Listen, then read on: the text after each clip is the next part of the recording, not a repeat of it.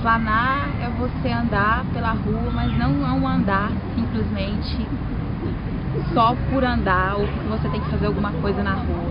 É um andar observando a rua, é, ouvindo a rua, porque a rua, como, como disse João do Rio, a rua tem cheiros, a rua tem sons, a rua tem alma.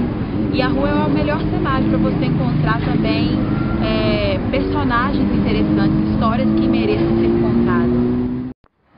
Projeto Flanando na Praça veio como uma forma diferente, uma proposta diferente de fazer reportagem.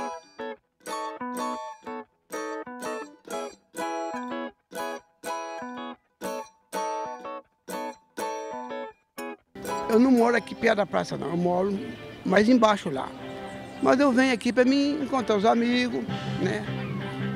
Conversar, né? O jardim aqui é bom para isso, né? Alguma pessoa que a gente precisa de encontrar para resolver algum negócio, alguma coisa, a gente encontra aqui, né? Então nós vamos trocando ideia com as coisas, né? É bom demais, menina.